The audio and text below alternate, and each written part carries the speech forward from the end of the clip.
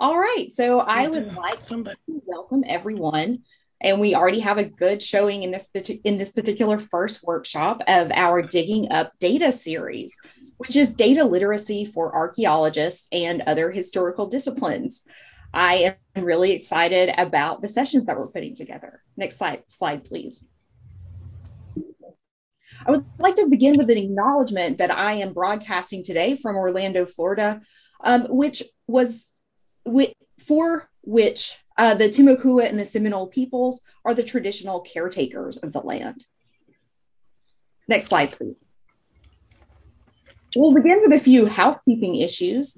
I would like to let you know that we are recording and sharing this workshop. We also ask that you keep yourself muted throughout unless you are speaking or participating in one of the breakout sessions. Please use the chat for questions and relevant comments. We also ask that if you have uh, questions, uh, you put them in the chat and we'll save these uh, for the correct parts of the session. We would also ask that you take a look meeting join ki bolo mat. Uh, we would like to ask everyone to mute their microphones at this time. All right. So we uh, would like to ask you to please see the ASOR code of conduct for the expectations of this session. Next slide, please. I'll begin by introducing myself. My name is Tiffany Earley-Spadoni, and I am the chair of the Early Career Scholars of ASOR. If you're not familiar with the organization of ASOR, we are the American Schools of Overseas Research, and we conduct a lot of research, much of it focused on the ancient past in uh, the wider uh, Mediterranean basin. Um, I am the chair of the Early Career Scholars of ASOR, and we welcome you here today. If you're not already an ASOR member, uh, we would like to invite you to become so, and we have wonderful discounts available for our student, postdoc- postdoctoral, and early career scholars members. I'm also the chair of the ASOR Digital Archaeology and History Standing Session. Consider this uh, as an invitation to submit future papers. Um, and I am an assistant professor in digital history at the University of Central Florida. Next slide. Yes. So today's session is part one in a three workshop series that we have put together. I, along with my co moderator, uh, Leigh Lieberman of Open Context, uh, who I will introduce in just a moment. Um, we have put together this series of sessions. The first one today is data literacy for archaeologists. Next time on October 20th, we'll be doing working with archaeological data.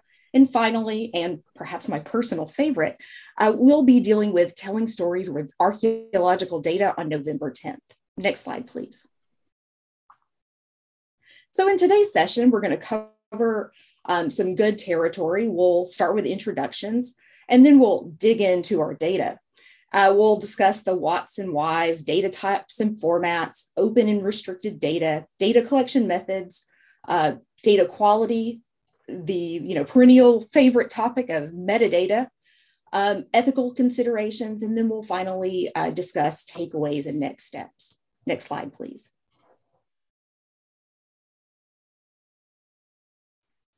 Hi. Now it's on to me. oh, um, there I I was meant to introduce you. Have have we removed your introduction slide? I moved that here. Here we go. oh, yes, well, I'll, I'll go ahead and do that. Um, so I am so pleased and delighted to introduce my co-moderator today, Leigh Lieberman, who will be leading you through this topic. Um, Leigh is, has a BA and MA from the Johns Hopkins. Has a BA. Hello has a BA and an MA from the Johns Hopkins University. She has a PhD in classical art and archaeology from Princeton. She is presently the director of um, strategic partnerships at Open Context and um, is also the data management supervisor for the American excavations at Morgantina Contrada Agnese project. And she is also the manager of data and information resources for the Pompeii Archaeological Research Project Porta Stabia. Uh, without much further ado, I would like to introduce my esteemed colleague, Dr. Leigh Lieberman. Thank you, Tiffany. And thank you all for coming today. Um, I'm going to go back to that uh, last slide for a second, if I can. Um, just to give a brief land acknowledgement, um, I acknowledge that the Tongva peoples are the traditional caretakers of the land from where I am zooming today in Claremont, California. Um, as someone who resides on unceded Indigenous land, I recognize that I have and continue to benefit from the use and occupation of this land. And I honor not only the history of the land, but also the Tongva people that are thriving members of the community today. Um, so, Tiffany, that was a fantastic introduction. Um, just a, a little bit of, of summary there. I am an archaeologist whose research explores how and why artifacts and spaces were recycled and repurposed in the ancient Roman world. Um, so that's kind of a little bit about my disciplinary background, but the broader principles that I'm going to be referencing are widely applicable to archaeologists and historians and, and people that are interested in studying the ancient world more broadly. Um, and that's actually one of the first important takeaways about data literacy is that a lot of the concepts that we're going to be introducing today are really widely applicable to a broad range of disciplines. Um, I'm also, as Tiffany mentioned, the Director of Strategic Partnerships for Open Context. We are a small nonprofit that promotes open data initiatives and cultural heritage. And I want to take just a brief opportunity to introduce you to the rest of the team that I'm representing today. Um, if you're signed up already and able to attend subsequent programs in the Digging Up Data series, I'm hoping that some of them might be able to make an appearance, especially concerning some of our current work in the data literacy program that is being led by Megan and Paulina. Um, and that project in particular is the launch of the Digital Data Stories Project. If you're immediately curious about what that program is and what that what that project consists of, um, you can definitely check out our blog for more information. Um, one of the things that you might have seen on the slides as Tiffany was going through before and as I started is this link to slides down at the bottom. If you want to follow along with the slides on your own device, please feel free to check out that link. Um, I have tried to embed a lot of links throughout the presentation um, some of the ones that are not as user friendly to read and type, um, you can definitely click through if you have access to the slides. So I encourage you to do that. Um, and you'll also have access to them after the presentation is over. Um, but to get started, I want to jump off with a poll just to take the temperature of the room and our, our virtual room, so to speak. Um, and this poll is going to have three questions. So the first one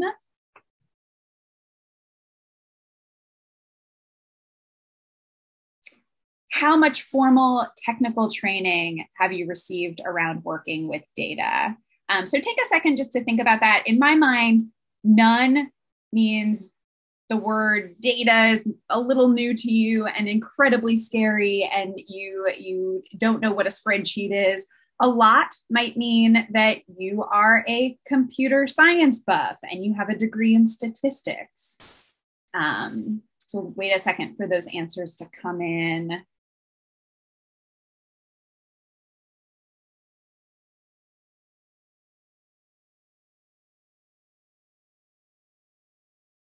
was going to say you guys are, are quick to answer this poll, but I realized for many of you, you're not zooming in from the California time zone where I'm still on my first coffee of the day. Um, excellent. So we've hit critical mass there. And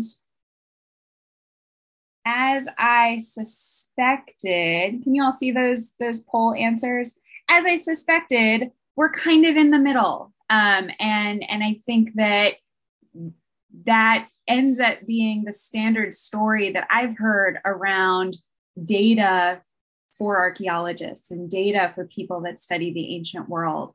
Um, a lot of the skills that I picked up as the data manager for various archaeological projects, I picked up on the fly. I never really took a class to learn this sort of stuff. Um, the second question that I want to address how important do you think being able to work with data is for you and your career goals? on a scale from very unimportant to very important.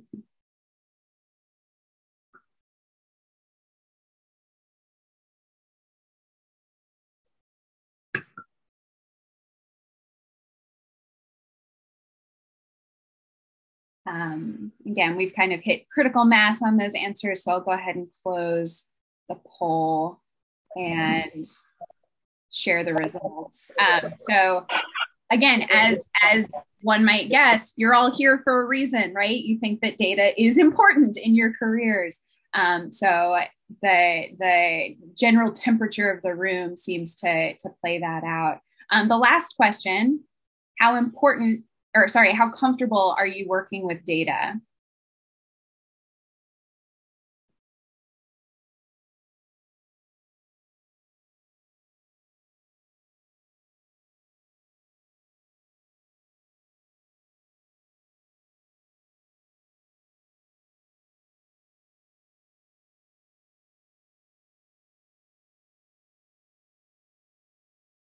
Excellent. Um, so a whole range there. And I think this is another thing that really characterizes our experience as archaeologists with data. Some of us who have had experience working on data driven projects, we develop that familiarity, we develop that comfort.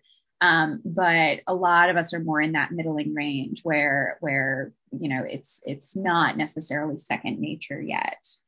Um, excellent. Well, thank you for your answers there. And we will have a couple more poll questions throughout um, to, to kind of take your temperature on things.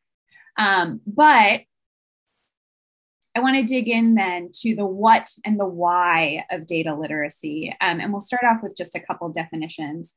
Um, so, data we define as an object, a variable, or a piece of information that has the perceived capacity to be collected, stored, and identifiable.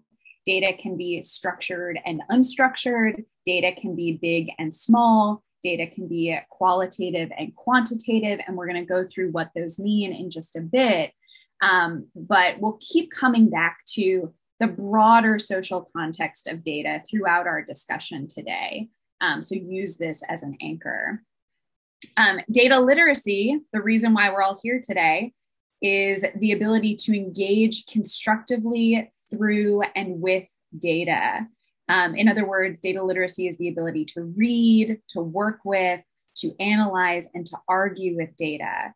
Data literacy do not, and data in general, do not necessarily rely on technology and advanced computational tools. Data can be collected using analog formats that you may or may not digitize later. Um, and likewise, data literacy is more about a general attitude about and familiarity with data rather than expertise about specific digital tools and specific methods of analysis. Um, so the big elephant in the room, one of the questions that that this workshop aims to address is why be data literate? Through our work as archaeologists, we produce, we clean, we analyze, and we translate data. Um, this is well represented by the types of activities that we perform, from artifact analysis to aerial survey to excavation. Um, it's also well represented by the types of records we create, from notebook narratives to lists of finds from photographs of specific artifacts to illustrations of entire typologies. It follows that with so many opportunities for data creation, we should understand the process behind data, the processes behind data, um, and we should be well versed in the practices that those are going to entail. Um, another reason why we want to consider data literacy and why we want to be data literate the humanities disciplines on the whole are losing institutional support. And in many ways, it's up to us to make a case for maintaining that support. This is well illustrated by news headlines like the ones you see on the screen here. And if you've been paying attention to these stories, they're heartbreaking to, to read about and to hear about our colleagues that are losing their positions and losing funding. Um, but they're more frequent as of late. This is happening more and more. And the question of why should we study the humanities, to my mind, still hasn't been answered to the satisfaction of the people that hold the purse strings and that are actually funding our projects and, and maintaining these departments. Um, so, what does data literacy then bring to the argument? data literacy involves not only learning about archaeology and, and learning about the techniques that we can apply to our studies. Um, but data literacy also involves the learning of skills that are easily transferable to a variety of other disciplines. Um, so, in that sense, broader skills based learning outcomes can enable us to attract students that may not otherwise share our innate passion for material culture and old walls and dirt and sun. Um, and this is especially important because most of our students are not going to become archaeologists. So giving them tools to and and a, a creative outlook to walk away from our classrooms with is very very important. Um, moreover, many of us are going to find ourselves pursuing careers outside the academy and, and outside of archaeology. And the data skills that we can acquire along the way, if they are explicit and if we understand how to market them, those are skills that are only going to strengthen our resumes moving forward. Um, so, again, just to take your temperature on these things and to see how important this aspect of uh, data literacy is to us in this Zoom room right now, um, I want to just ask a few more questions. Um, and the first one is How affected has your own research been by budget cuts?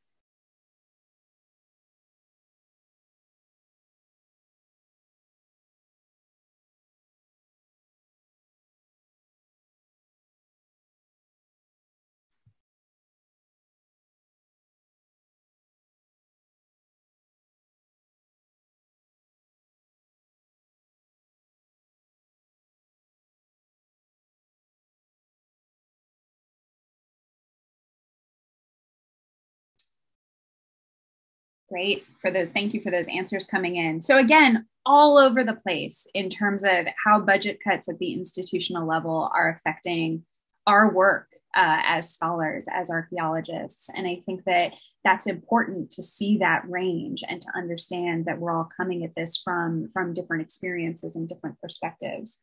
Um, the second question is equally as important. How impacted has your research been by the COVID 19 pandemic?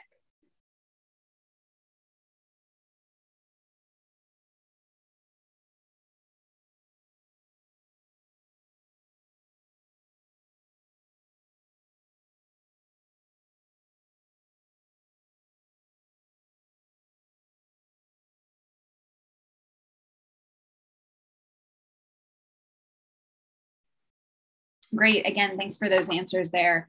Um, and i think that this is one of those those questions that's going to come up for a while moving forward as we're as we're still living in this reality.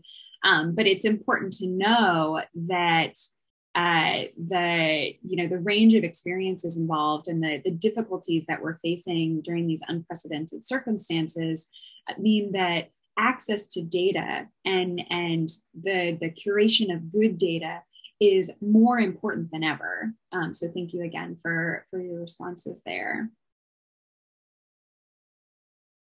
Um, ultimately, um, I think one of the most important takeaways about data literacy is that it's not about learning specific tools and techniques. You will pick those up along the way, um, but rather, data literacy is about developing comfort around data data literacy is going to require practice. A great metaphor that my colleague Paulina shared with me yesterday is that learning the principles of data literacy is like learning the alphabet, um, but you're still going to need practice writing words. And then once you figure out how to write words, you're still going to need practice composing sentences. So the practice you get to, you get along the way really adds up.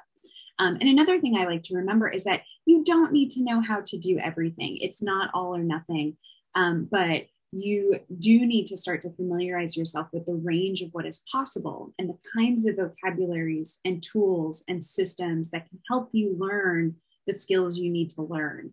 Um, that way, when the what and the how of data literacy change, the why and the principles that ground us can stay consistent.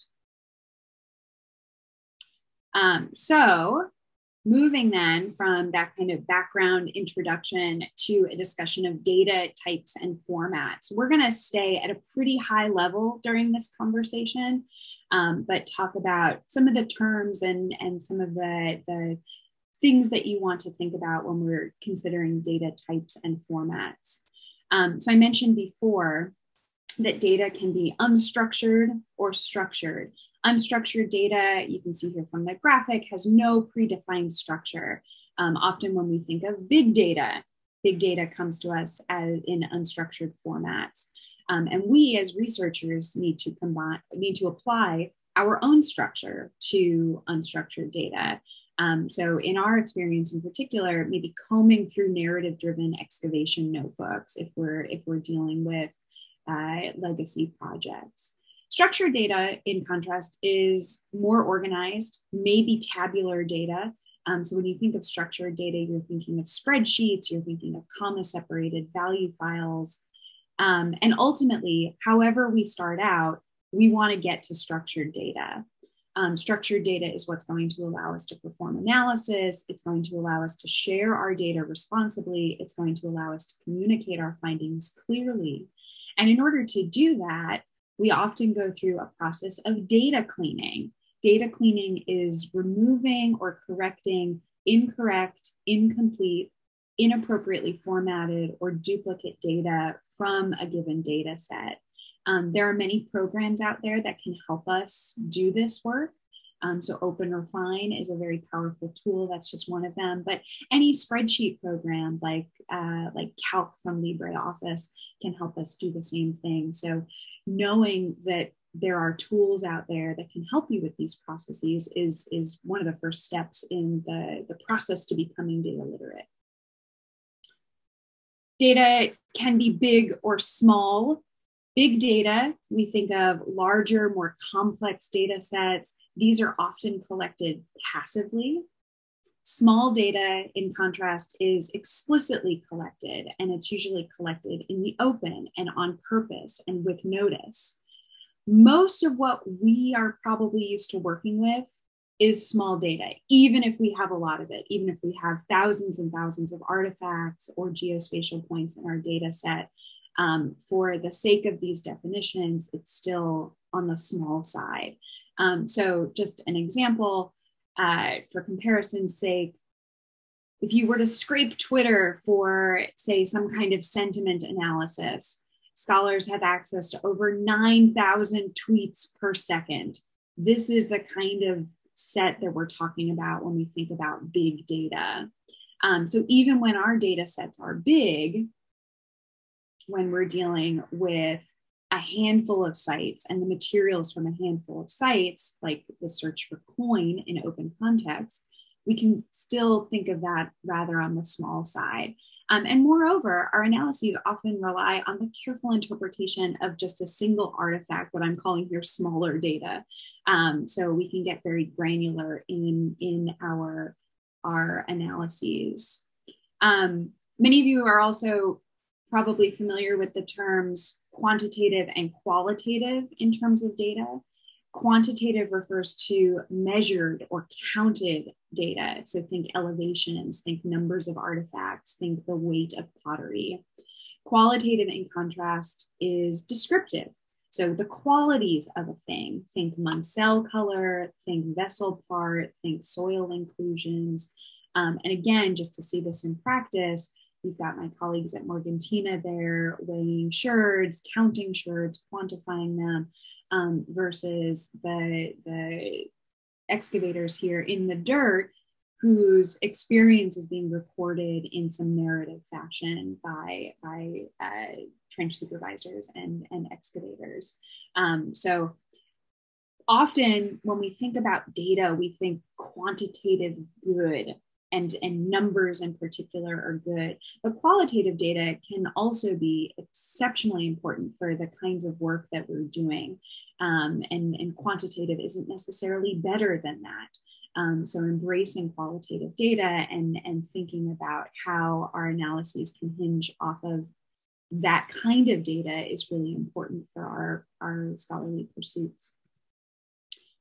Um, there's always a part in a discussion around data that I don't find particularly helpful unless it's grounded in practice, but people always want to know file types. Um, we're going to get into that more in our workshop next month on archaeological data analysis. Um, and, and there we'll talk more explicitly about the kinds of file types that we'll want to familiarize ourselves with and what each one of them is used for in what context.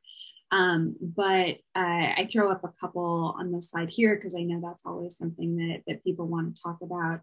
Um, overall, our data may consist of descriptions, it may consist of numbers, it may consist of scanned images, photographs, 3D models.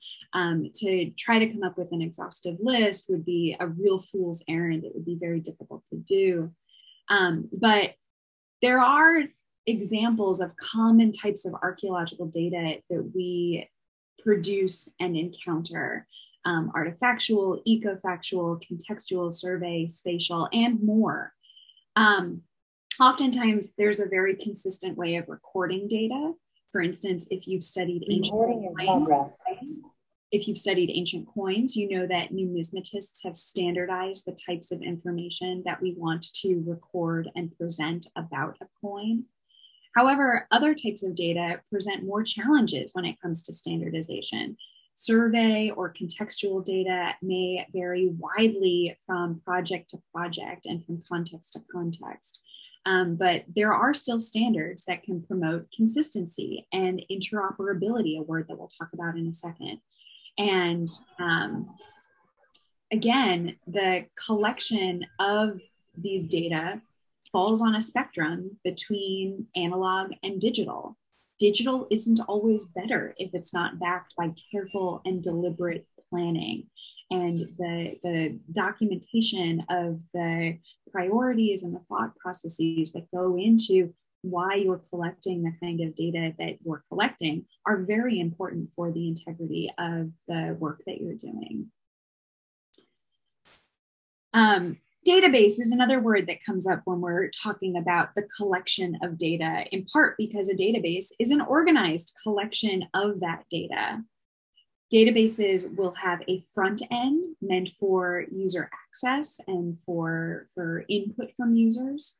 Um, databases also have a back end that show you the relationships between all the records of data that they contain. Whoops. And if you think about the legacy data sets that you worked with and how you wish someone had collected some kind of piece of information, you have to think about the tools that they were using to collect that and, and sort of the resources that they had access to. And it's the same when you're dealing with a digital infrastructure. Um, some of you may already be familiar with just from you know accessing zoom today and, and signing up for this webinar you're used to the front end of databases even if you don't know that they're that they're databases that are acting in that way. The back end though is super intimidating sometimes. As someone who who develops databases i still get sort of chills and and uh, nerve ridden when when I see something like that because um, there's a lot going on there and it requires a, a, sort of background knowledge that that takes time and, and energy to develop. Um,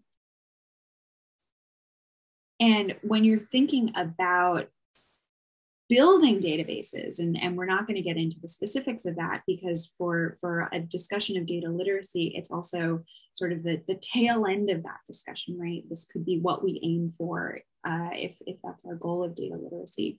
Um, but there are some some pros and cons of, of certain database uh, platforms and infrastructures that you want to take into account when you're starting any data driven project.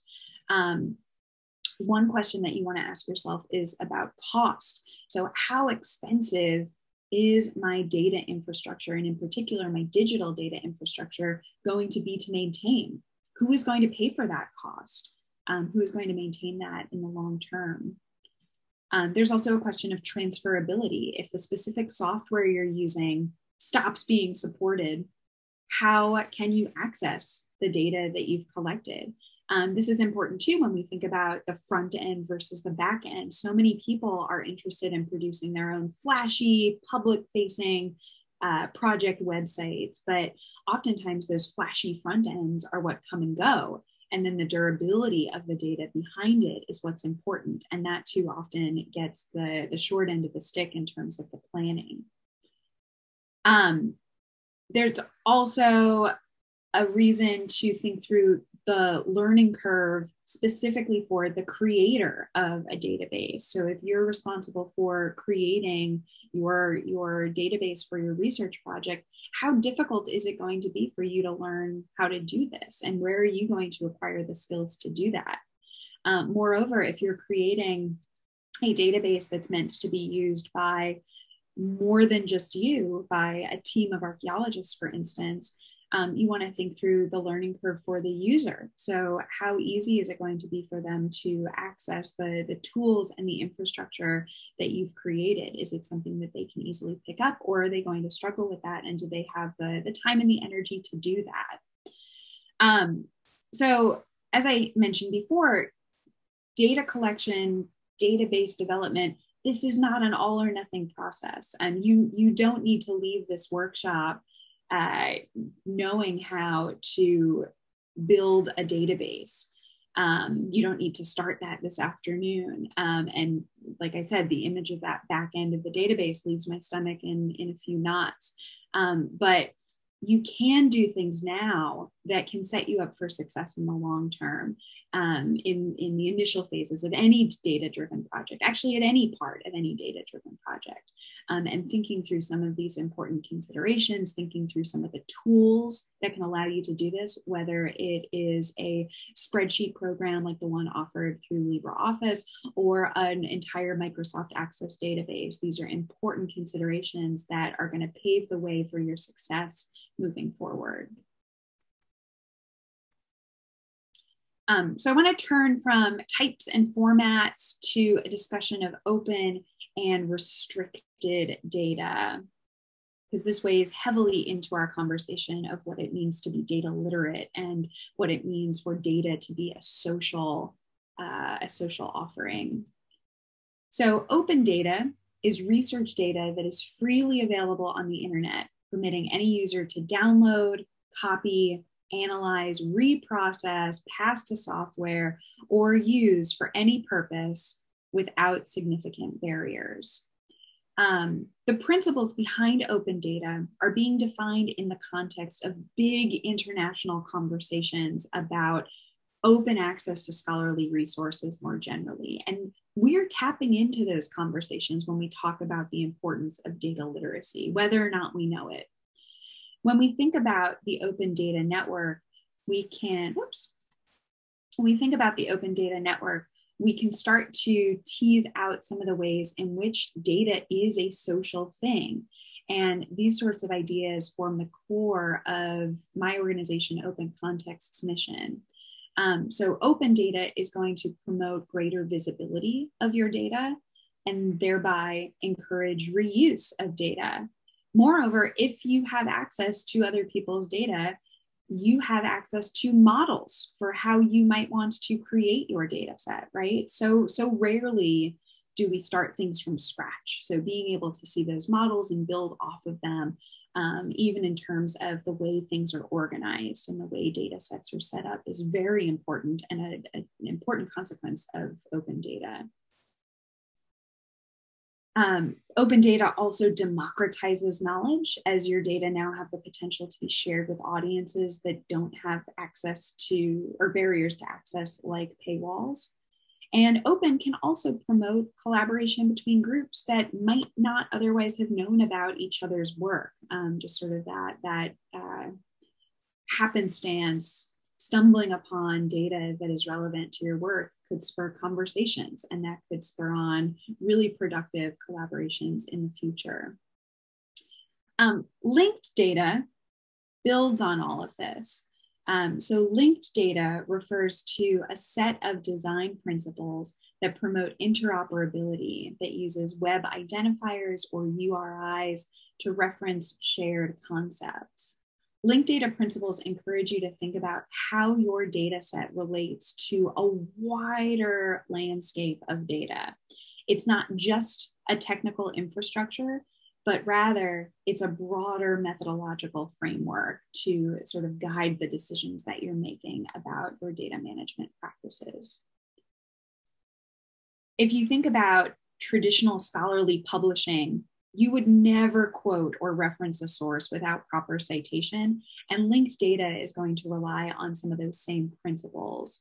So when standard vocabularies, like some of the ones represented on the slide right now, have been published, linking to those standards in your own data set is not only going to save you the time and effort of recreating the wheel, right? You don't have to come up with these definitions yourself. Someone else has already done the work for you. Um, but it's also going to allow you to participate in this wider network of data driven scholarship. Um, and, and then we go back to all of the reasons why open data is, is a good thing, right? Promoting visibility, encouraging collaboration. Um, tapping into this linked network is one more piece of that puzzle that that encourages this kind of this kind of outcome. Um, open data, as we've talked about, is very important, but one question remains should all data be open? Um, and there's a lot of work that, that you can look into about this. Um, photographs of human remains is one important set of, of uh, data that we might want to think about in this regard. Um, museum colleagues are having similar conversations about the remains themselves. Should they even be on display in museums, or could that be potentially harmful to uh, individuals and communities.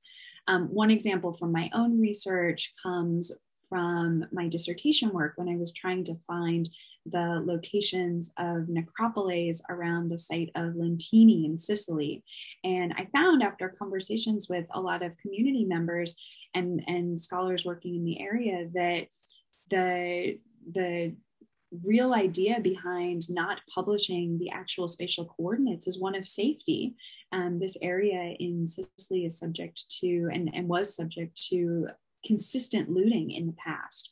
And, and to keep the cultural heritage, to keep those monuments safe, um, scholars have largely decided to leave the coordinates uh, uh, in a restricted restricted uh, set that can't be accessed by everyone.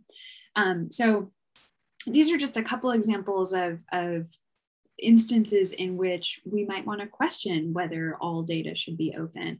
Um, but more to the point, it's important to have conversations about these concerns with your team and, and with your colleagues. It's important to learn about local and international standards that govern these kinds of questions and to establish policies for your own research and your own field projects right? This this shouldn't come as a surprise to you right when you go to publish um, that maybe you shouldn't be doing this. These are things that that thinking about now is going to pay off dividends in the end. I want to talk for a bit about data collection methods and how we actually come to have data uh, as archaeologists. So, many of us are probably coming at this from the perspective of field work um, and, and the, the actual practice of archaeology, as we know, is a destructive pursuit.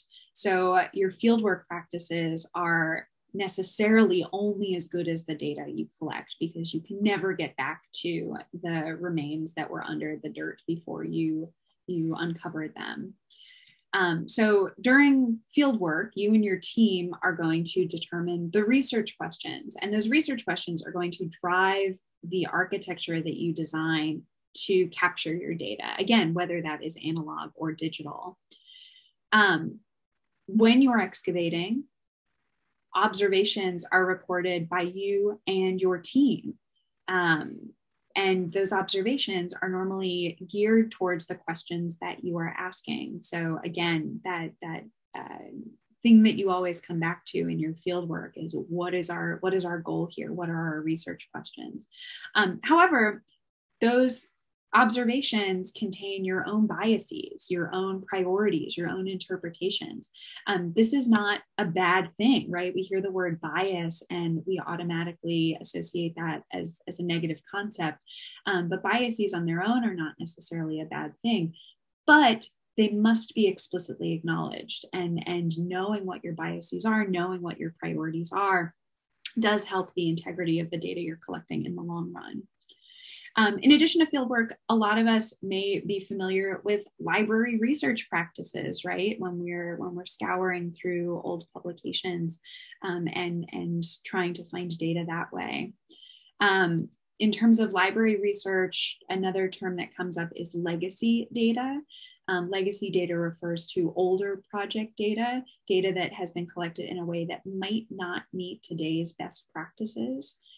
Um, when it comes to library research on, on legacy data or, or borrowing from more contemporary publications, you are applying research questions and you are applying data architecture to a set of data that may have been collected for very different purposes. Um, you are also applying your own biases and priorities and interpretations on top of the original biases, the original priorities, the original interpretations. Um, so, layers upon layers of interpretations there. And library research is often going to involve making executive decisions about what the original excavators, what these original publications meant and part of our job is to document those decisions and, and making very explicit the choices that we made along the way. Um, whether you're in the field or in the library, your work may involve some kind of digitization of records and digitization of data. Um, digitization practices are governed by their own set of standards that are usually managed by our colleagues and collaborators in libraries and archives and visual resource departments. Um, so again, here's another aspect of the, the social nature of data.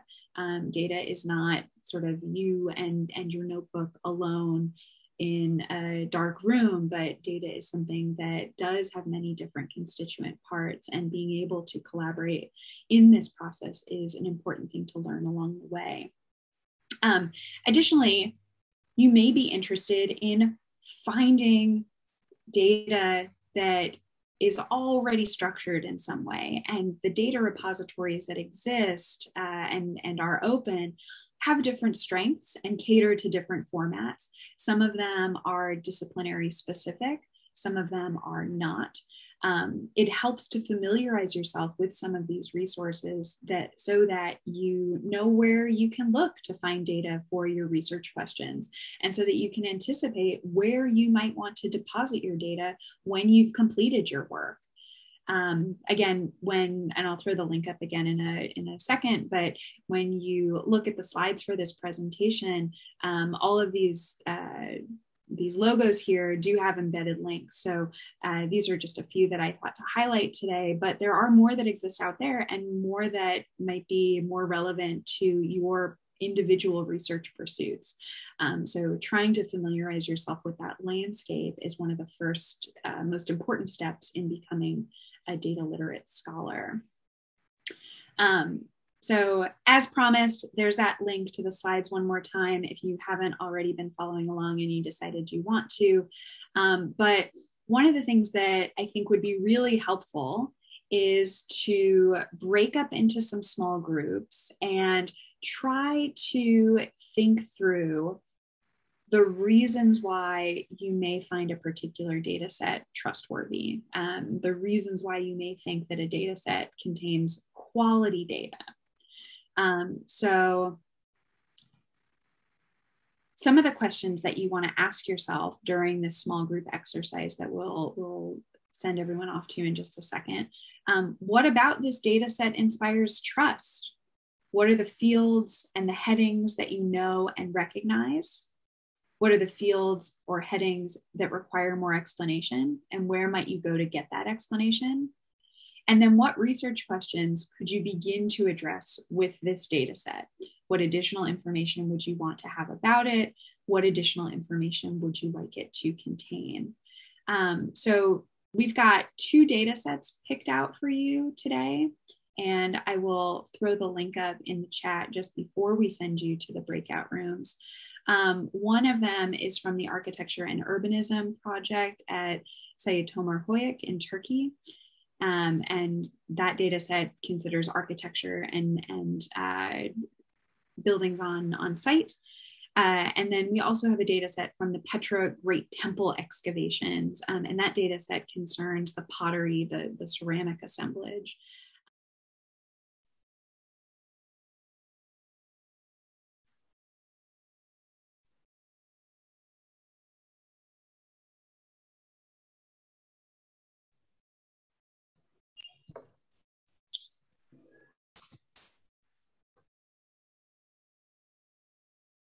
Welcome back. Welcome back.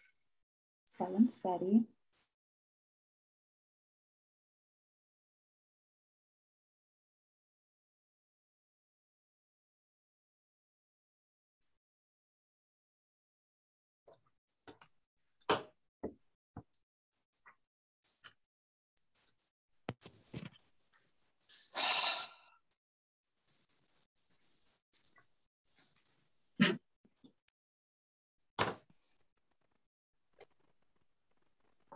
Excellent. Welcome back. Um, I set it up so I can finally see your faces if your cameras are on. I couldn't see you before, so this is this is great. um, so, in the interest of uh, making sure that we get through all of our content, um, and also hear from you about some of the things you and your group discussed, I want to ask you if you had feedback that you wanted to share about that exercise, things that you discussed with your group, if you wouldn't mind typing that in the chat and then other people can can see what the different groups were talking about um, in response to those questions that we were looking at before. Um, what is this data? What about this data set inspires trust? What are the fields that you know and recognize and what research questions could you begin to address with this data set? Um, but hopefully that gave you a chance to explore some of the the things that we've been talking about and i think sets us up very well for what we're going to talk about next which is metadata and unique identifiers. Um, so starting out with metadata, metadata is data about data. And we can think of metadata as the tip of the iceberg in many ways, serving as an important means for us to get to the data. Um, there are three types of metadata if we wanted to think about this categorically. You've got descriptive metadata, administrative metadata, and structural metadata. Um, descriptive, like who created this data? What is this data about? When was this data created and what is its unique identifier? We'll get into what those are in just a second. Um, administrative data could cover questions like who owns this data, who gives access to this data, and how can this data be used? And then structural metadata, how is this data set organized? What version of the data is this? And what other resources might you need to interpret this data? Um, it's really important to note the existence of traditional knowledge labels as well. Traditional knowledge labels offer community based alternatives to existing metadata schemes, and they are a relatively new thing, um, which is why I want to point them out here. Um, traditional knowledge labels acknowledge the fact that data cannot be created and managed from the outside, so to speak. So these labels have been developed through sustained partnership and testing with Indigenous communities across multiple countries. Um, so, definitely worth looking into the the importance and the the um, sort of reach of an organization like local contexts and some of the initiatives that they promote um, overall metadata does a lot of things for us when we're when we're participating in this environment. Uh, metadata is going to inspire confidence, like you talked about. I bet many of the things that you were looking at associated with those data sets would have been answered by those metadata questions, right? About who and, and what and, and when. Um, so, metadata can inspire confidence about a data set. Uh, metadata will enhance discoverability as search engines pull from metadata to get you what you need. Um, and for that reason, metadata will encourage reuse, right? If you can find it, then you can use it. So, so it follows necessarily that it's going to encourage reuse. Um, and work being done, especially by groups like local context, ensure that metadata promotes ethical standards. Um, and like I said, you were picking up probably in a lot of this in the groups that you were in just a few minutes ago. Um, but one kind of big thing to, to keep in the back of your minds about metadata is that you are not intended to become an expert in metadata. We've got enough on our plates thinking about data literacy And metadata literacy is probably a whole discipline in and of itself. Um, so, metadata is usually defined for any project in collaboration with representatives from data repositories, from libraries. And this just goes to reinforce the fact that data is necessarily a social and collaborative thing. Um, so if metadata is something that, like the back end of the database from before, seems a little a little scary and a little finite, um, this is something that there are definitely resources out there to help you with. Um, unique identifiers is another important quality that we want to assess when we're thinking about data. Unique identifiers are going to ensure the individuality of each record in your data set. So think about this in the context of an archaeological project where you might have a ceramicist numbering sherds and a zooarchaeologist numbering the bones that have been excavated. If they both have numerical sequences of objects, that can get incredibly confusing, not only for the people working on those objects, but especially for individuals not directly affiliated with the project who are kind of looking at this data that has been collected. Um, so when we think about unique identifiers, we want to start out at the local level and then get a little a little bigger. Um, so when we think about local identifiers, this could be, say, a, a project defined inventory number for an object or or a data point. Um, local identifiers are internally defined. They are therefore internally unique. Pottery 211 is going to be different from Zooarch 211. Um, and often they are human readable. So, this is something that, as someone who is not affiliated with this project, can see, I can, I can understand what pottery 211 refers to. Um, and and i'm i'm sort of given the knowledge to to understand what that thing is meant to represent. Um, a little bigger than local identifiers, though, are universally unique identifiers, and these draw on standards published by the Open Software Foundation. Um, these are computer generated, these are computer readable. This is something that I don't want to have to type out or say every time I'm referring to the vessel highlighted in blue on the screen, right? So, so it makes sense that uh, that this is something that might be more relevant for the back end of a database than the front end. Um, getting a step even bigger could be something like an archival resource key or an ARK identifier. ARK identifiers are persistent and they are affiliated with web addresses. And you can check out uh, sort of the standards that ARK discusses and and the the work that they do to build up this set of identifiers um, and again this is not an all or nothing so we'll get in a few seconds to some actionable things you're going to be doing uh, to sort of hone your data literacy between now and the next workshop and starting with the local is kind of a good step in that direction. And then once you build up that that uh, resilience and you build up that system, eventually moving to something like a universal, a universally unique identifier and an archival resource key. Those are kind of steps in the process.